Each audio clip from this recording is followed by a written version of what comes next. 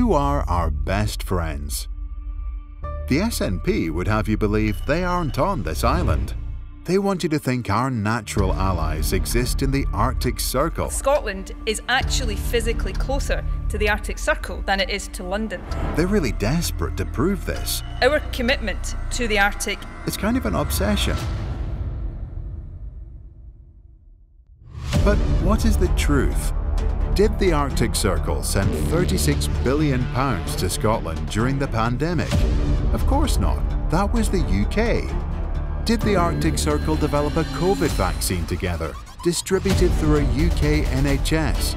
Of course not. That was the UK. Did the Arctic Circle come together to pool and share resources in times of crisis? Of course not. That was the UK. The truth is, our real allies exist here, on this island. Best friends to the point we don't even need a border. Best friends to the point that we look out for each other. Best friends with, well, a union. You'd need a lot of grievance to want to give up on that.